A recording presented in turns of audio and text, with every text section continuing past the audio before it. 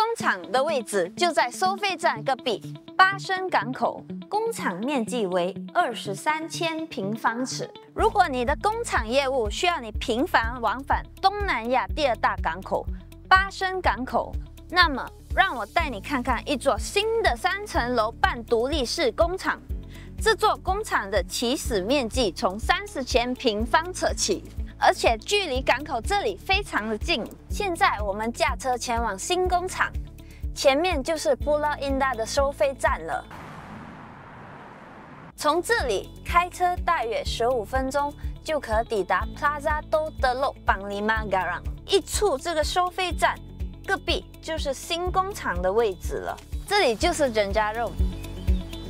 新工厂的位置就在收费站隔壁。非常方便，而刚才我们行驶的那条高速公路是 SKV Highway。二零一零年，政府开通了 SKV，将东部的 Putrajaya 行政中心和西部的 Port Klang 贸易港口连接起来。通过 SKV，你可以直奔靶身区 Bandar Saujana Putra、Puchong、Putrajaya 等等。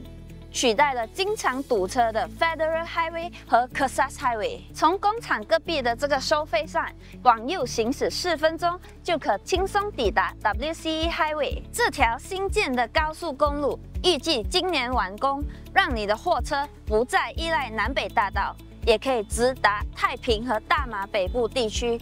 此外，SKVE 还连接着 Elite、LDP 和 Max Highway。除了高速公路带来的便利，这间工厂隔壁还会建设一个二百五十英亩的综合性发展项目。而工厂的对面是 Jenjarum 的街镇，这里有商店、有住家，员工只需步行就能满足日常所需和住宿，非常方便。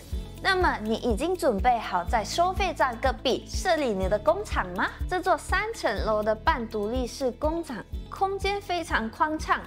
土地面积从三十千平方尺起，工厂面积为二十三千平方尺。这样，即使你日后想要扩充你的工厂空间，旁边还有很多土地可以使用。类似这样大型的工厂，在其他地区如 Kota Kemuning、Shah Alam、布中，每平方尺至少需要六百令吉，而这座永久地契的工厂，每平方尺仅需三百八十令吉。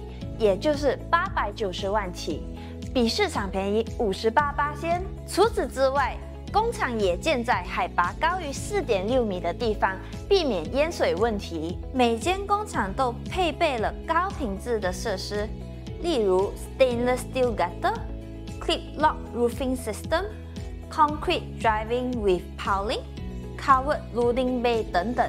将工厂设置在收费站隔壁。仅需五分钟到达 SKV Highway，二十分钟到达把生港口。这样的方便能为你的生意带来什么样的升级呢？马上点击以下链接，与我们预约参观工厂吧。